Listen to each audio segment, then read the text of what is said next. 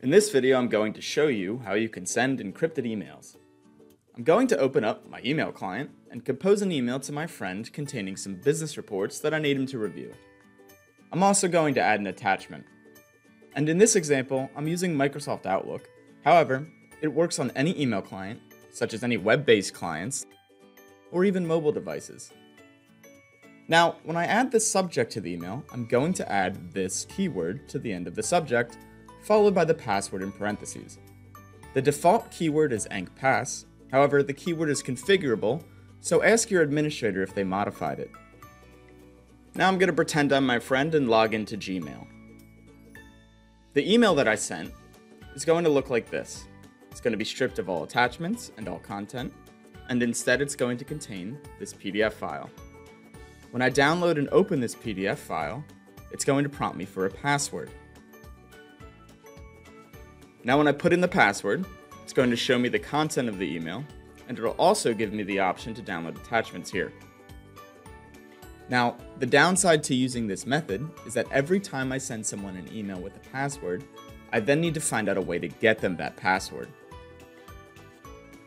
However, if I know I'm going to be sending sensitive documents to specific people frequently, I can actually pre-configure their password so that I don't need to type it every email, and I don't need to give them the new password every time as well.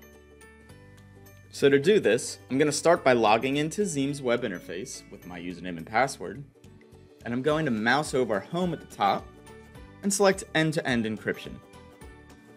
On this page, I can specify any email addresses and the corresponding passwords that I want to use with their addresses. I'm going to add my boss, John's, email, and I'm going to give him a password, like 1234. Now, when I go to send an email to someone on my list, I only have to put the keyword at the end of the subject, but I don't need to actually add the password. So now I'm going to send John an email, and I'm going to add in some attachments, and I'm going to put my keyword in the subject. As you can see here, when John gets this email, it's going to contain the password protected PDF file.